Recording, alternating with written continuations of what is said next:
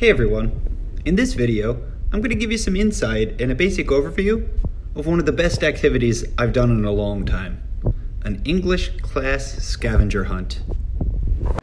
Hey everybody, I just got finished with one of the best classes that I've ever had.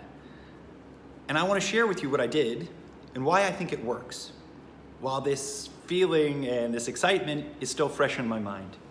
Okay, so today I did a scavenger hunt with the students in my English winter camp. Uh, basically, during the scavenger hunt, I took task cards, right? These are question and answer cards that I made based on a movie from the BrainPop ELL library. Yesterday was Monday. We watched the video and we did, you know, basic comprehension stuff in the classroom. And that's well and good. Everybody participated, they had a good time, but you know, it's pretty, pretty tough work. And basically students sat in their chairs the whole time. At the end of the class, I said, oh man, students don't look like they had a really good time. They look like they had a regular English class. So I said, all right, what can I do to get students out of their seats? Well, normally in my classroom, we do classroom scoots, which is where students move from desk to desk uh, answering questions with a 30 second timer. So I said, all right, that's fun, but we do that all the time in my English class. What can I do to make this even better? So I said, all right, I want to get them out of their chairs. How about getting them out of the classroom? So what I did was I took those task cards, those fill in the blank questions, those multiple choice questions, matching questions, spelling questions, translation questions, and I put them up all around my school. I put them up outside of our English laboratory the science rooms, the music classrooms, our library, the computer laboratory, all around the school. Then I came back to the classroom and I gave students some very basic instructions. I told them that, okay, on your paper, which you can see right here, there are 27 boxes, and in each box, there's a location around the school. Now, most students knew most places in most of the boxes, but they didn't know all of them. So I had to go over each place. Uh, I just translated it into Korean if they didn't know where it was.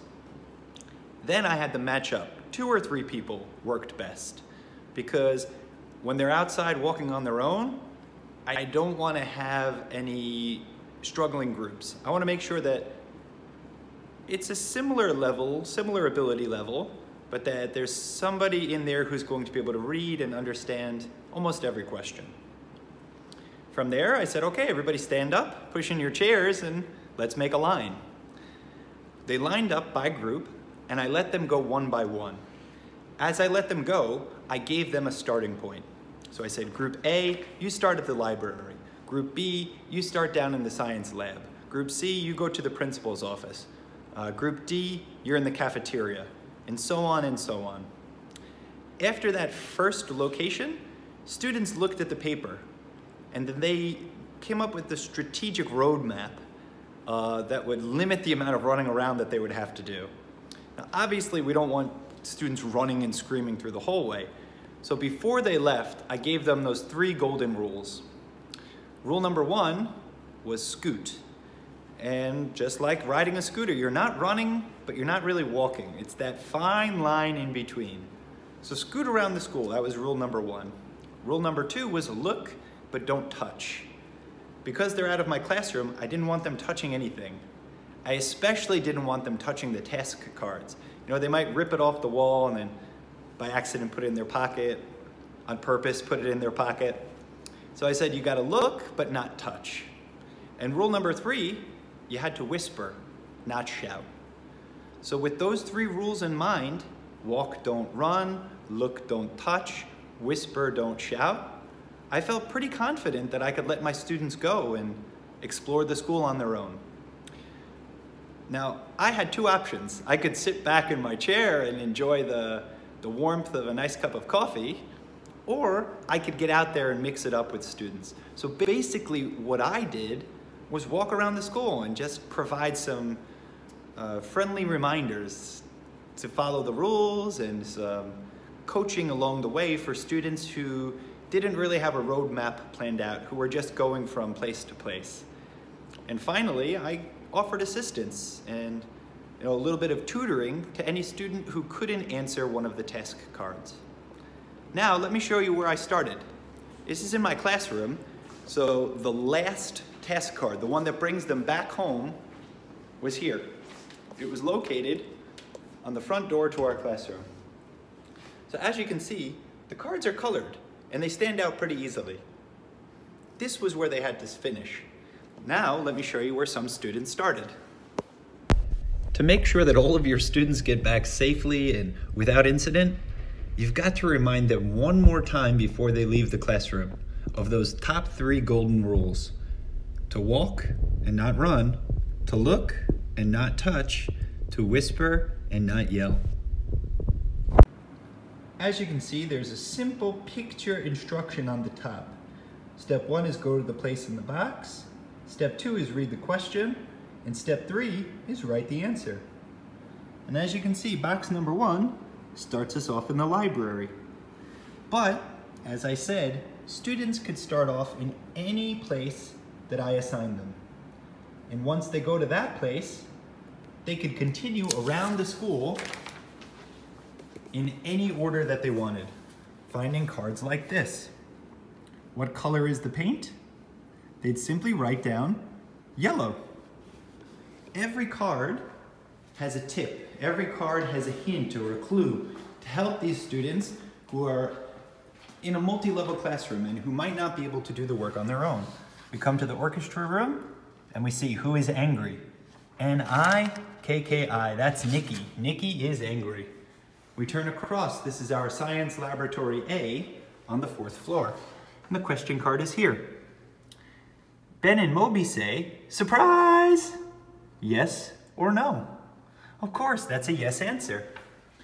And then students scoot around the hallway and down to the third grade hall. This is third grade, class one. And there's a test card on the front door. It says, what color does Nikki hate? And as you can see, it goes clockwise from G to R to E, E, N. Green. She hates the color green. And we move along to classroom number two. And there's a test card here. This one is multiple choice. It says, which is green? Coffee, bananas, rice, or grapes? The answer is D, grapes. Now, of course, some students might argue about the answers, and that's okay. If they're arguing, they're using English. They're using English, we're achieving our objective. Okay, now students would be scooting around the school and walking carefully and quietly. Here come the stairs. And they'll go down the stairs until they find the next task card. They'll be looking at their roadmap and trying to figure out, okay, where should I go next? They might want to go on the second floor to the second grade classrooms. Now here, there's only one classroom from the second grade, class 2-2, question number 12. So let's find out, what's the question? Here it is. Today is Nikki's 13th birthday. Yes or no? On the card, the picture has 14 candles. One candle is for good luck, so Nikki is 13. Students would circle yes or write yes on their task paper. And again, they continue along trying to find the cards all around the school. Now as they come here, they get a little extra quiet because this is the teacher's preparatory room. Now, I gave the other teachers in my school a heads up to let them know that students would be coming around. And they'd find the card here. What flavor is the cake's icing? V-A-N-I-L-L-A, vanilla icing. And if you let the other teachers in your school know that students will be moving around from place to place and maybe causing a little bit more noise than they're used to, it buys you a lot of grace from the other teachers. Just give them a heads up, and most teachers are willing to let it slide. You're not doing this all day, you're not doing this every day. It's a great treat. Here's our school admin office that asks, which music does Nikki like? She likes the poppers. Pop, pop, pop, poppers. Then we came across to our art room that asks, yes or no? Moby is thinking. No, that's the boy Ben. And again, if you use strategy, you'd be able to go from the admin office to the art room, and then very quickly over to the gym. That's really one of the keys to this activity. Not only are they using English to communicate and to answer the questions, but they've also got to figure out what's the best strategy. They don't want to just run into the activity. You want to encourage them to sit down and think about the most efficient path or the smartest path that they can take. And we'll finish up here at our school's turtles. As you can see, we got two little buddies here hanging out in the water. So I put the test card on the floor in front. It says, how many fingers does Moby have? On one hand, there are four fingers, and Moby has two hands. So of course, he's got eight fingers. And that's a basic run through of how your class or school scavenger hunt might work. As you can see from the video, I really liked this activity. It had elements of both collaboration and competition. Students had to work together with their partner or their teammates to answer academically rigorous English comprehension questions.